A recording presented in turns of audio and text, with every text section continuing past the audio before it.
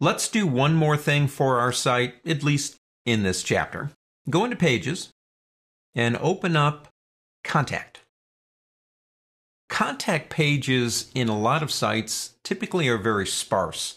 Even in huge sites, you might see a couple of phone numbers, and that's about it.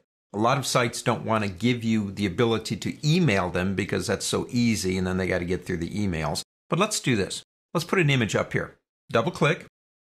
That's just an easier way to get there, I want to tell you. And let's do a lily up there, I suppose. Got that done. We know our links work. Let's go ahead and get rid of all of this text. Remember, this was just a template page, except the word instructions. And let's call that Contact Us. Now, we'll do a couple of things real quick. Go ahead and go down to the next line, type in, and this is, of course, the US way of doing phone numbers. Let's give them our home phone number. That'll work. Home, business, cell, man, just about everything. Let's do one more thing though an email link.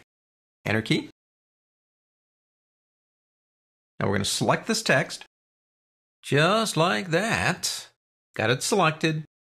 Down here, our link. Now, this is how this works. Type in the word M A I L T O, mail to, with a colon. Then type in the email address, just like that one up there. It could be different if you want, but that wouldn't make sense.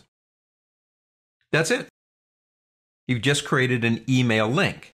Now, if we run this, what happens is, is when they click that, it would actually open up their email server, automatically put the information in there, and allow them to send you an email. But that's not all. Check this out.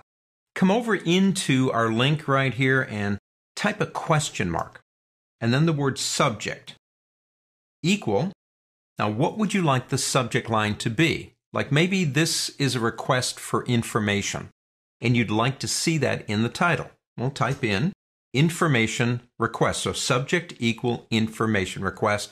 That's a question mark at the front though. Subject equal information request. Let's check it out. Save it. Come up here, and I'm going to Safari. I think I'll send an email request. And there it is, already up there. Now you could do the same thing with the word body. Question mark body equal, and you could put in here something like, please type in your request here. Now usually what I do here, let me get out of here. Let's get out of here. And I might do something like this. Please leave the subject line intact. Now what I'm doing is this. I have rules in my mail server that if it sees a particular thing going on with the subject, it moves that particular email into another folder. It helps me organize my stuff, if you will. So, if you want an email, it's very easy. Don't forget the mail to at the beginning.